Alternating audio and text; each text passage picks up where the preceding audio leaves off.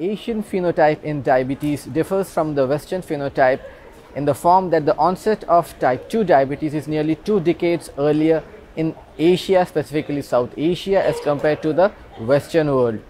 And also, when you talk of the phenotype, uh, these patients are much more leaner, they have a much uh, lesser body mass index, they have greater markers of insulin resistance like acanthosis nigricans, they have increased central obesity, increased occurrence of skin tags.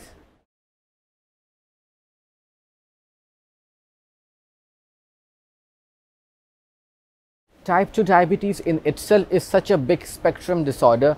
We have patients of type 2 diabetes who are obese to morbidly obese or those who will have clear cut features of insulin resistance or like ladies with polycystic ovarian syndrome in them our primary focus would be to cause weight loss. So in them the primarily medications would be metformin as the first line. As the second line uh, we, would love to use SGLT2 inhibitors which we know they cause weight loss. We would love to use a GLP1 analog which are again known to cause weight loss. So we would be avoiding medications which cause weight gain like the glitazones in this scenario on the other hand, if you have a lean type 2 diabetes uh, with lesser markers of insulin resistance, they are the patients who are more likely to develop beta cell dysfunction earlier.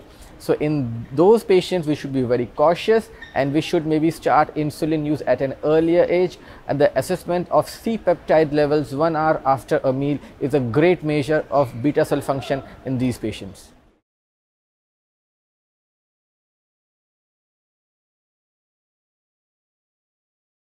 Well, we know pre-diabetes is a transient state between normoglycemia at one end and diabetes on the other end. The very fact that Indians are more metabolically challenged, they have greater insulin resistance, they have a thrifty phenotype.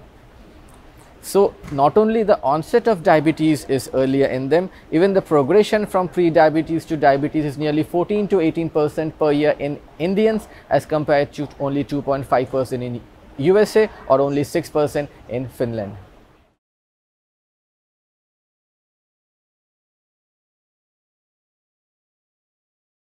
Vitamin D is something which has fascinated us. We now know that the vitamin D receptor is there in almost every human organ and tissue well, till now we have had equivocal data with some studies showing vitamin D has a beneficial effect in preventing the progression of prediabetes to diabetes. The other studies showing it has no benefits on blood glucose control in diabetes. The D2D study, the results of which was discussed in ADA 2019 showed that in a vitamin D sufficient individual, if you give vitamin D, we are not going to give any additional benefits in terms of blood glucose levels. But in a vitamin D deficient individual who is pre-diabetes, if we correct the vitamin D deficiency along with a good therapeutic diet and lifestyle change, we may actually prevent the progression from diabetes, pre-diabetes to diabetes or may even reverse it back to normoglycemia.